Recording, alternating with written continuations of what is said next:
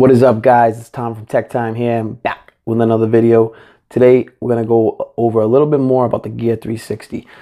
A lot of you might be choosing this to get with your Samsung Note pre-order.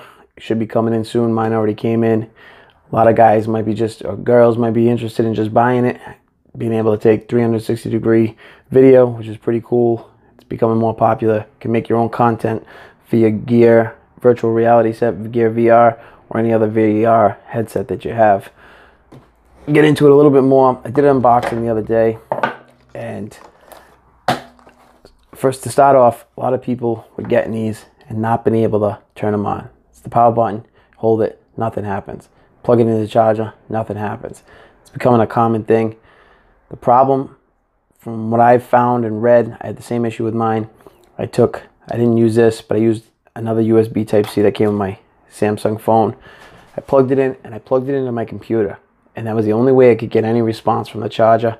I did that, left it on overnight, charged it up fully. And now I've been able to use any power brick that I wanted and been able to have no issue. I thought the thing was broken, came back defective. Had somebody comment on one of my other videos, theirs did come defective. They couldn't get anything working for it. They sent it back. They got a refund. This thing's a pretty cool little camera. You can use it to shoot 360 degree video.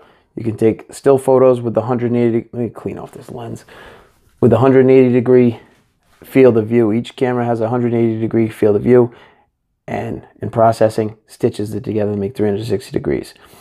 You can use different views depending on the way you want to film the uh, video that you're taking. You can take still photos, whatever you want. But you can use it as a standalone if you want, you can hook it on a tripod. You can hold it like this. Comes a little rubber stand that gets it to stand up like that. But you can also use it with your phone. Your Samsung phone, Galaxy Note 8, Samsung Galaxy S8, Samsung Galaxy S8 Plus, maybe even the uh, S7 Edge and those phones also. Not sure about that, but I know definitely the S8, the S8 Plus, and this beauty, Galaxy Note 8. Now what you want to do here is you want to go into your Galaxy apps. This is not the Google Play Store. This is the Galaxy Play Store that comes preloaded on your phone. You know, click on that. Go back here. What's this? Oh boy, trying to get me to buy stuff, of course. Click search. And you're gonna type in Samsung Gear, and then 360 will pop up. You click on that. Now these are your apps that will pop up, and the Gear VR might also pop up. But you're gonna want Samsung Gear 360. I if you can see that.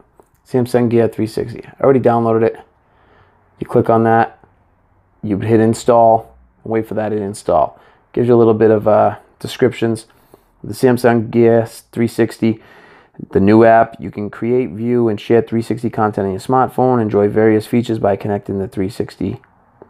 The app is compatible with Gear 360 new version, the Gear 360 from last year. Connect and disconnect. You can remote shooting and preview the recording. You can do a lot of good things with this. Change settings, a lot of stuff that we're going to get into right now. So let's power this up. You hold that until that comes in. I don't have my SD card in right now, so you're going to see that. It's going to say check SD card. Gives you 97% of my battery. And it shows, it's got the little uh, symbol for recording, which isn't on. So now that we got that, you're to want to go into your, uh, where is my app? I have it over here, the Gear 360. Click on that. And the first time you open this app, it's going to have this, and you're going to want to turn your Bluetooth on. That will automatically turn your Bluetooth on when you set that up. The first time, you're going to want to have your Bluetooth on, and that's what it's going to be linked under, Gear 360. You're going to want to pair the device and set that up. Go back to this. Now you're at this stage. Get that set up. You hit connect. Now it's going to connect to that. Obviously, both have to be on. Just tap here to manage your new Gear VR. And now you can come in, click on camera.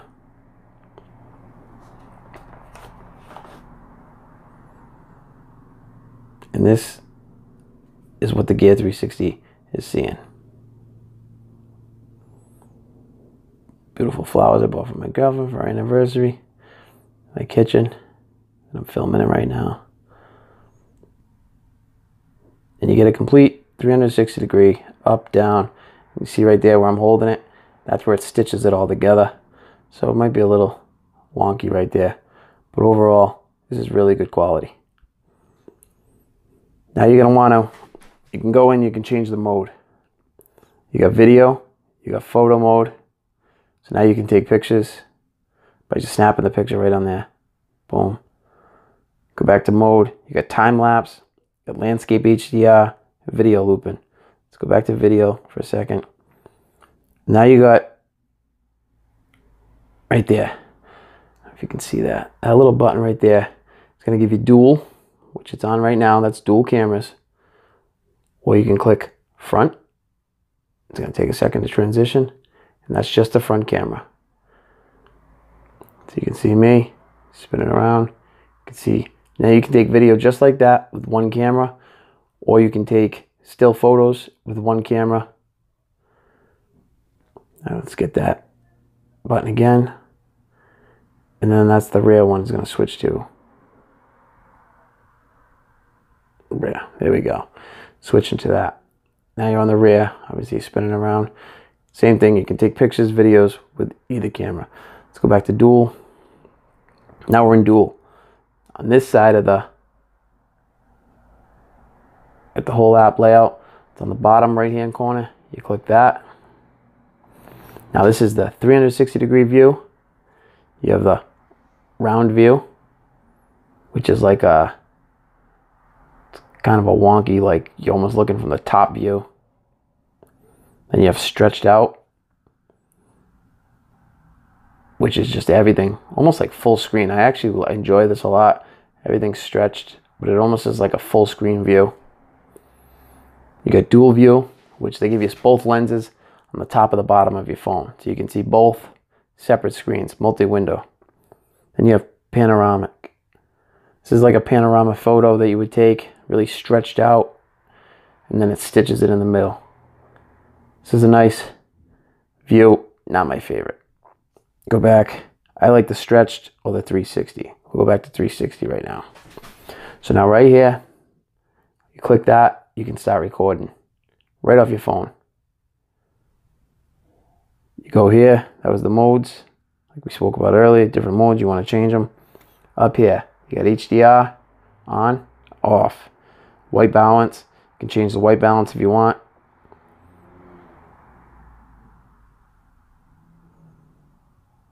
You can change all different settings. That's the zoom function. And you get the right here. You can change the video size. You can do 4K at 24 frames per second. You can do 1440, 30 frames per second. A little bit better than 1080p right here at 60 frames per second, 30 frames per second, and then you can go a lot lower. You can do slow motion, 720p at 120 frames per second, which is pretty cool on 360 degree mode. It looks really cool. Main lens and preview is the rear. You can change that to the front if you want. Video size. Oh, the so all right. So that was the dual lens video size. You're gonna get the 4K in the dual lens. Single lens, you're not gonna get that. You get 1080p, 60 frames per second, 1080p at 30 frames per second. I keep that at 30 frames per second, but you can change that if you want. Dual lens, you're gonna get the 4K. You're not gonna get that with just a single lens. You got a timer, you got your ISO sensitivity, your sharpness. You can reduce wind noise from uh, when you're recording. You can put location tags on. This is obviously if you're I'm in Massachusetts, if I'm in Boston and I click that as I film the video, it will put a location tag on there that it was filmed in Boston. That's it for the camera settings. That's a little SD card because I don't have the SD card in there. But this thing is pretty cool. That would be a gallery right there. Brings you back to your gallery. There's no SD card in the 360. But you can view everything that's on the 360 through your phone. Confirm. We'll go back. You can live broadcast yourself. So you click on that. You can do a live broadcast on YouTube, Facebook, or Samsung VR, which is the virtual reality headset. That's pretty cool. Facebook Live, YouTube Live, cool for YouTubers if you want to get a, you know, a vlog. You can vlog your whole life in 360 degrees. People can scroll around and see what's going on, not just from the one field of view that you're showing them. It's pretty cool. Then you get your settings. Sound and LED. You can change that. LED indicator volume. Get your auto power off after five minutes. Battery status, not charging, 91%. Thought I said 97. 91. Storage space, no SD cards in there. You can reset and firm, uh, format it. Here's your firmware version. You can check for updates, which is probably a good idea. Insert an SD card and then try again. So you need an SD card in there for the updates. It's good to know. Get your camera settings back, and that's all the stuff that's in the app right there. Go back here, and that's everything. This is the disconnect, connect to a new one, and then it actually has your user manual, all digital. So you don't have to read this stupid book. Read it all online. There's plenty of YouTube videos out there to really show you a little bit more of this didn't give you anything. This is just a pretty basic run through of the app for you guys. Let me know how you like it. If you get this, got any questions, let me know. I'm still playing around with it, getting used to it. I'm going to show you, I'll, I'll post a video of me recording some stuff on this. That'll probably be one of my next couple of videos. But this thing's pretty cool. People, when you're walking around with this, people, they want to know what the heck it is. Thing looks like a little robot. And they want to know, oh, what the hell? And then when you tell them that, you, you know, you're recording 360 degree, a lot of people don't even believe you because some people don't even know this exists. You know, people that aren't following the tech world daily like most people are on these channels they don't know that this even exists, you know, that you can record 360 degrees. And they think it's pretty wild, you know, to be able to get a complete view and then on your phone to be able to scroll through it at the same time. It's pretty cool. I think it's, you know, it may be a little gimmicky. Some people might not like it at all, never use it. For me, I think it's pretty cool. It's something I wanted to have. Didn't have the last year's version. I got this version with the Galaxy Note 8 pre-order and I'm liking it so far, playing around with it. Like that I can control it from my phone because this doesn't have a screen on it. You can control it without a phone. Personally, I like to have the phone. I have the phone on me anyway, so if I'm going to use it, I'm going to use my phone. That's it, guys. Got any questions, leave them in the comments. Um, if you like the video, give it a thumbs up, and uh, catch you on the next one. Peace.